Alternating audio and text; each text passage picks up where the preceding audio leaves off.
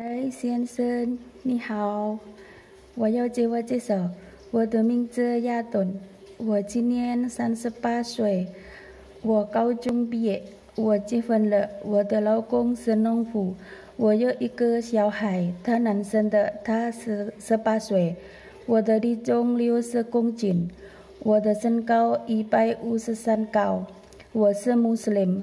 我不吃猪肉，那呃，可是我会吃猪肉。然后我以前工作在台湾照顾阿妈五年，然后现在我想去香港。